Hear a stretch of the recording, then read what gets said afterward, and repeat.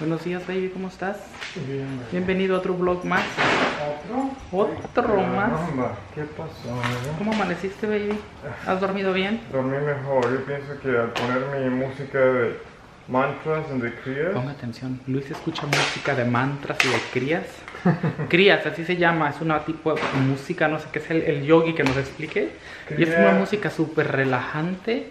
Si te duermes. Se letrea K, R, I, Y, Y, A. S. Cría. Crillas. No, cría singular.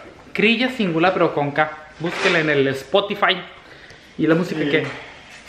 Y más que nada es una... um, la definición es, es, es un, es, un es una canto de meditación, más que nada. Pero es súper relajante. Sí, si no- usted se, entu- se duerme y se entrega, se va, se pierde completamente en la mente, así. no, sí. Se duerme bien a gusto. Oye, baby, hoy se murió Arita Franklin. Arita Franklin. Yo sé, yo sé. Si no saben quién es, búsquenla en Spotify. Es una mujer que cantaba, le decía la reina del soul, música soul. ¿Cómo se dice soul en español? Música del alma. Sí, pero más que nada que es el nombre de música... ah, ¿Gospel? Es lo mismo, similar, ¿no? Empezó con gospel, Sí, pero sí, música sí, de, gospel, de cristiana, de, no sé de iglesia. Sí. Pero después se, hizo su propia, o sea, tipo jazz, tipo... soul, sí, sí, sí. Muy buena música, por cierto. Buenísima, Buenísima.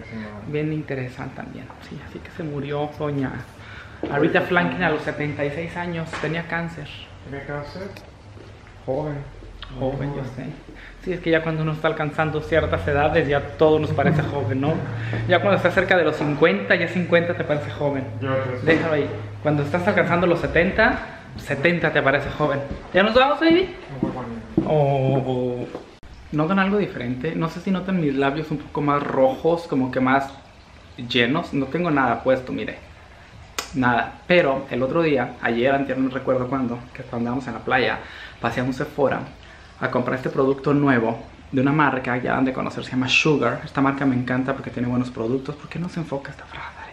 ¿Por qué no se enfoca? Bueno, miren, déjenme les enfoco, déjenme les enfoco. No sé qué pasa este que está aquí de la marca Sugar que tiene unos buenos em, eh, bálsamos de labios para lo reseco bueno este nuevo viene con este goterito miren y es un gel este gel ¿por qué no se enfoca mi cámara? tiene problemas espero que se vea bien le decía esto trae este goterito y este gotero tiene eh, pues obvio ¿no? pero este gotero salen eh, como ¡Ugh! Se me chorrió no puede ser es, sale un gel y este gelecito eh, ay, se pone en los labios una vez al día o dos veces al día se lo pone así y espera de que este gel se seque y después se pone ya su bálsamo labial o su lipstick, lo que usted quiera. Lo que hace este gel, déjenme lo cierro porque si no se me va a tirar. Lo que hace este gelecito o esta, esta cosita, ese que es como un ácido muy, un ácido de frutas, creo que leí que era eso, ácido de frutas que es como para exfoliar los labios muy suavecitos, pero no los reseca, los exfolia y les saca el, color natural de tus labios, o sea, y quedan así súper se quita lo reseco rápido, pero queda un color muy bonito, muy natural, o se ve, se ve padre, me gustó. Y esto me costó como 20 dólares en, en Sephora, o también lo puede comprar por internet, en donde sea, yo le voy a dejar el link aquí abajo, como siempre, ya sabe que no soy egoísta y le comparto todo. Buenísimo, me- esto me fascina. Ya después arriba de esto, ya que se seca, me pongo un bálsamo cualquiera y los labios quedan súper hidratados, súper suavecitos todo el día. Yo lo utilizo en la mañana y en la noche porque yo soy así de dramático, ¿verdad? Pero bien padre.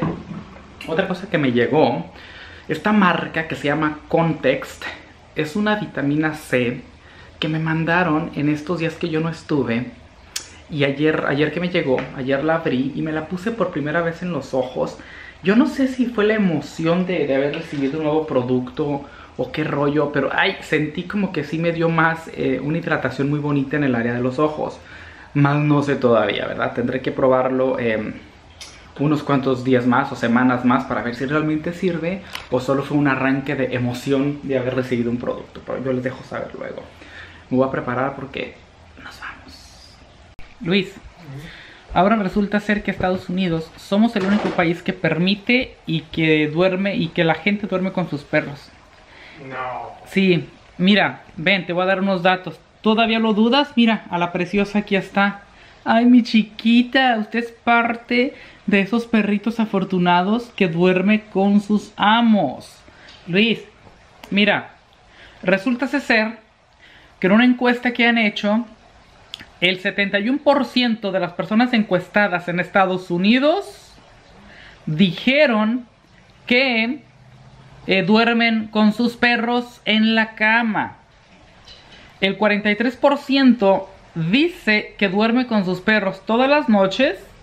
El 5% dice que duermen con sus perros cuando su marido, su novio o cualquier cosa relacionada con, con usted de amor está fuera del pueblo, de la ciudad. Y según el 52% eh, duermen en la cama, pero duermen en, los pies de, nuestra cama, ¿no? O sea, al pie de nosotros. Mientras tanto, el 23% duermen mm, a un lado de uno, así abrazándolos bien bonitos, así abrazaditos. Y el, eh, y el 11% comparten las almohadas y el otro 14% duermen abajo de las sábanas con sus perros. ¿Tú de qué, de qué porcentaje eres, baby? Yo soy del, no sé. Del 43, somos del 43% porque Valentina duerme en nuestros pies Miren, aquí ven a la niña dormidita. Todos los días ella duerme en nuestra cama. Oye, baby, ¿cómo te sientes dormir en nuestra cama? Se siente rico, ¿verdad? Claro que sí. Es que usted es una reina. Usted es una reina, usted se merece dormir en la cama matrimonial. Claro que sí. Claro que sí. Ay, qué bonita está mi bigotona tan preciosa. Oye, mañana te van a cortar el cabello, te van a bañar, te van a dejar hermosa. ¿Ok? Oye, ¿tú qué piensas de dormir con tu perro en la cama? ¿Te gusta la idea? Fue tu idea. Sí, a mí me encanta, ¿por qué no? Ahora la gente va a decir, ay, pero ¿por qué nada más Valentina y a Tito Luigi no? De todos se quejan. Somos igual. Mire, puede checar de qué tamaño es mi cama. Mira la altura. Tito y Luigi es imposible que se puedan subir a la cama por sí solos. Los puedo subir yo, pero ya tenemos, un incidente. Ya tuvimos un incidente que se cayó una vez y se golpeó la barriguita. Y, los perros ya saben que no duermen de así de seguido. O sea, no es como un humano de que se acuesta de 8 de la noche y se levierta temprano. O sea, no. Los perros se levantan a la medianoche, van a hacer pipí, van a tomar agua. ¿Y qué tal que se levante y se den la madre? O sea, no. Ellos duermen en sus camitas que están ahí en el closet. Y la única que duerme arriba es Valentina porque yo se lo permití. Y porque no, ¿por qué no? Digo yo.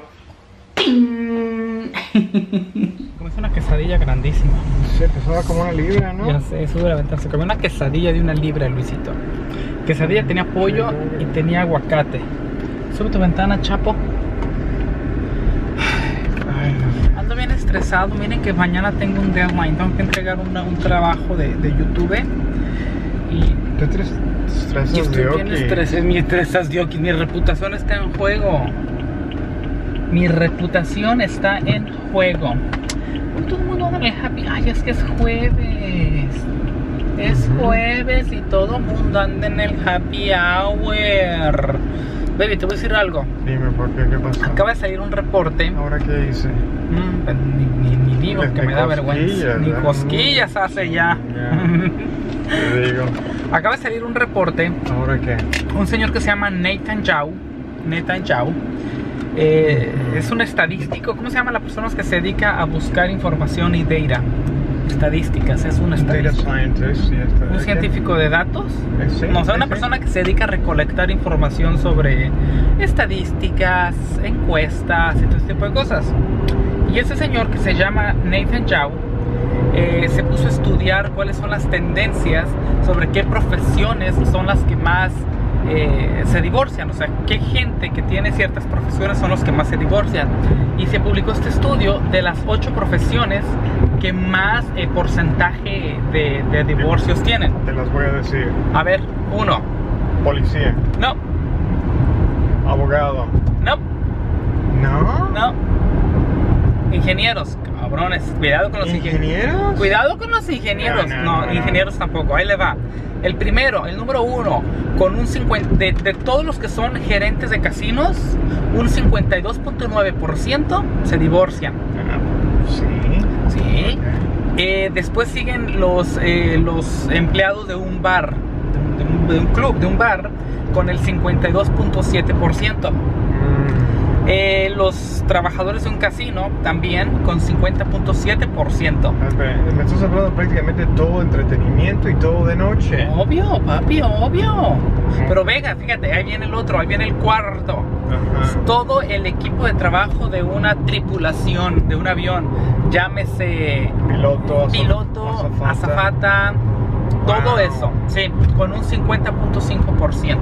Pues imagínate, pasas, supongamos que te vas de los, de los Ángeles a, a- a- a Singapur, de Los Ángeles a Londres, qué sé yo, pasas 12, 13 horas allá arriba con el casi mirándole las nalgas al piloto, hasta yo, hasta yo. No, no, yo pienso que más que nada la distancia, la separación Sí, de la familia, sí, o sea, sí. el hecho que la carne es flaca. La carne es flaca. Bueno, hay carnes gordas también, pero. flaca. Pero sí, el- la, la tripulación. El número 5 y 6 eh, es gente de construcción o gente que trabaja en maquinaria. No puede Sí. Con un 50% en construcción y 46.9% para gente que maneja maquinaria. Un tractor, un trailero posiblemente puede ser. No, Es un taller posiblemente. posiblemente.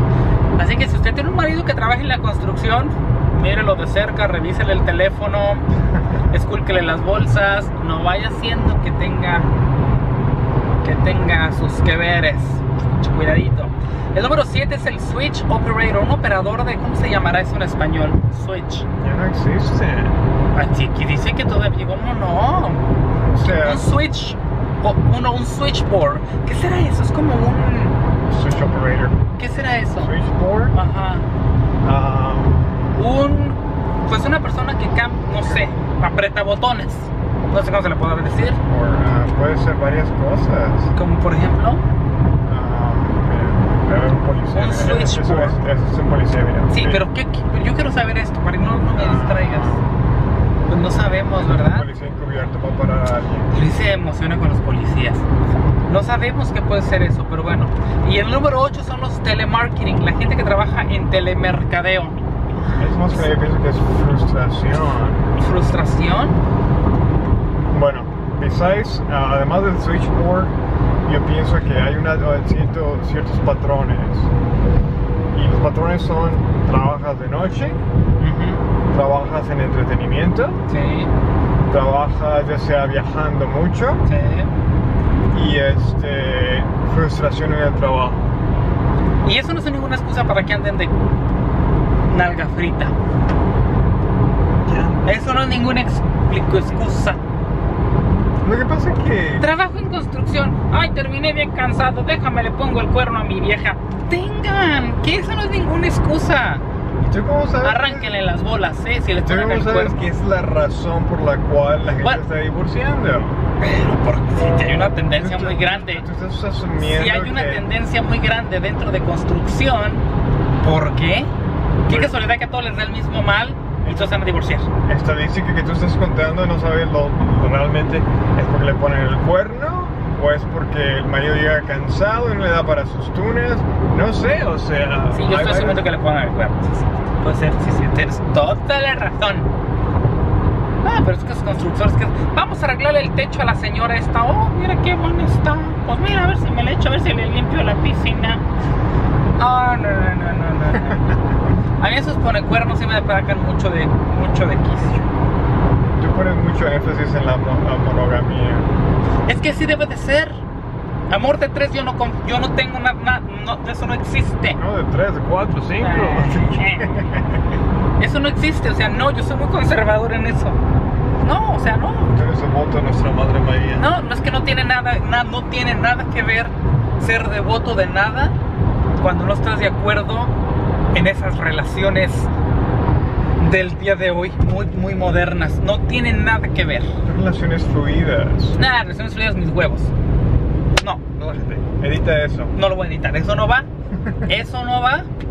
No, o sea, no perdonen infidelidades. Bueno, se depende si quiere. Pero si están de mutuo acuerdo, pues órale. Pero. ¿Usted qué piensa? ¿Quiere una relación fluida, como dice Luis?